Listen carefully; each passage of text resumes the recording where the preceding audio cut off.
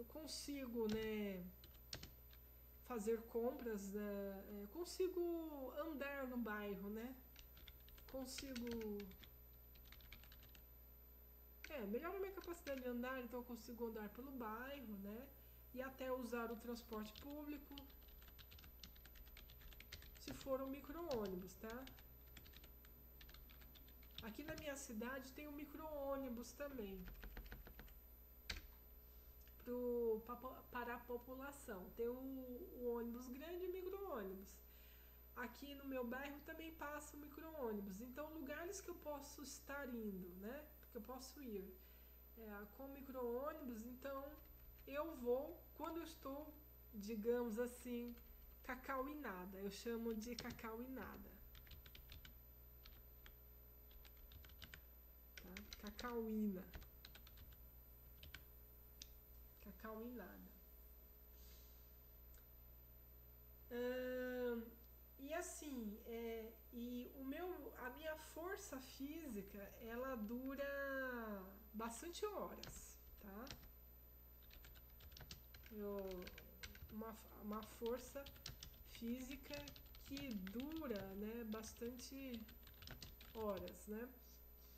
É, geralmente o que eu costumo fazer, eu tomo uma parcela, uma parte de cacau pela manhã, para aguentar a rotina da manhã, depois no almoço, tá?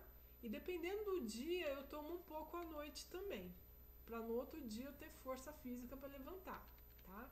O que acontece? O cacau em pó, no meu caso, ele substitui o mestinon, tá? Então, é, é ótimo substituto de mestinon no meu caso, tá? Por quê? Porque o mestinon ele não cura a miastenia, mas ele melhora, né? Teoricamente, ele melhoraria os sintomas da miastenia graves, né? Como eu rejeitei o mestinon por ele me causar câimbras e dificultar a, é, aumentar o meu problema de dificuldade de andar em vez de amenizar, né? eu rejeitei o mestinon e passei a usar o cacau em pó, né? É, e uso todos os dias o cacau em pó. Eu me tornei uma chocolatra, tá? Só que eu uso nessa receita aqui, como eu falei pra vocês, sem gordura, tá? A única gordura que tem aqui é a gordura vegetal do açúcar e do próprio cacau, tá? A gordura vegetal do cacau e a gordura vegetal do açúcar, tá? Não tem gordura animal, tá? Então, assim, é, é um chocolate bem mais light, tá? É, e eu tomo todo dia. Uma outra maneira de fazer essa receita é com maisena também, tá? Eu maisena.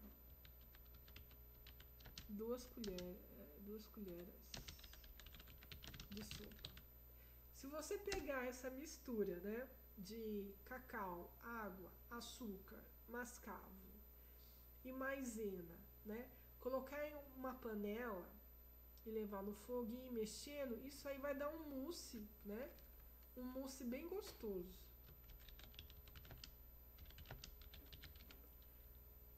É, é bem gostoso esse mousse, tá, gente? Eu gosto e ele é bem forte. Eu tenho a impressão que a maisena, tá?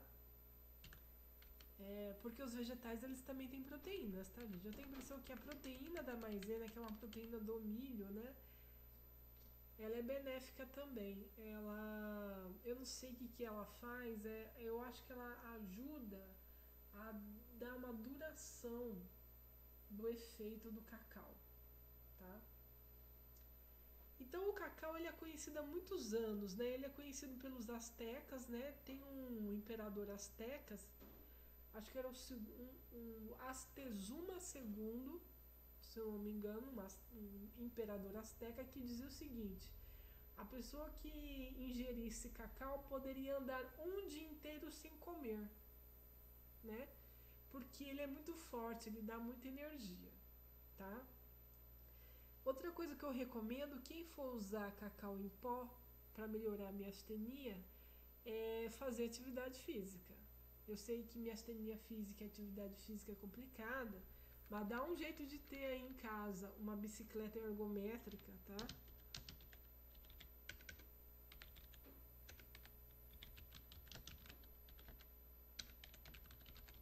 Porque o cacau em pó, ele é calórico e com açúcar fica mais ainda, tá? E quando você tem os picos de, de força física que o cacau lhe dá no dia, você tire um momento do dia para fazer pelo menos uns 15 minutos de bicicleta na sua casa, porque se você passar mal ali, você vai dentro na sua cama, tá? Repousa, que a gente sabe que o repouso faz a miastenia, é, é, a manifestação da miastenia diminuir, né? Então faz pelo menos uns 15 minutos para você queimar um pouco, né, essa caloria que você está ingerindo todos os dias, né? No meu caso são todos os dias. Mas dependendo também da fase que eu estou, eu posso estar tomando cacau uma vez a cada dois dias, tá? Atualmente eu estou tomando todos os dias, tá bom? Então era isso que eu gostaria de falar para vocês, tá? a minha relação com a minha astenia e com o cacau em pó. Eu tenho. Uh, como é que eu falo? Todo ano eu passo com a minha neurologista no SUS, né? A doutora Ana Paula. E ela é uma especialista em miastenia graves. Ela já trabalhou nisso, só nisso, durante três anos em um hospital. Uh, em São José dos Campos tal. E então ela é uma especialista nessa área, né? Ela me acompanha, né? Como ela sabe que eu sou uma, uma paciente bem adaptada, né? Que está conseguindo levar a vida né, realmente adaptada à minha astenia, né? Ela não, ela não, ela não me obriga, nem me empurra muito corticoide, né? Imunossupressor e nem mestinol. A única coisa que nós tentamos foi o mestinon e eu rejeitei, né? E os demais a gente não entrou porque são medicações complicadas, né? E aparentemente existe um equilíbrio, né? Um razoável equilíbrio na minha condição. E eu consigo resolver os meus problemas uh, de limitações da minha astenia com cacau em pó, né? Como eu falei para vocês, melhora a minha capacidade de fala, de levantar da cama, de andar, de usar escadas, o transporte público, se for um micro-ônibus, tá?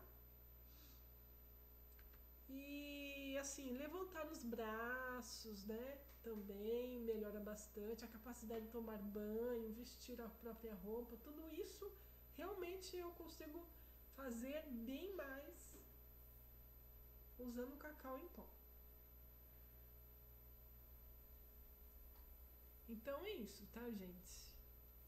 Uh, espero que tenham gostado e eu quero trocar informações com pessoas que têm mobilidade reduzida, miastenia graves e tal, é, para a gente encontrando né, estratégias juntos, né, para lidar com esse, com essa situação, tá bom? Um abraço e até mais.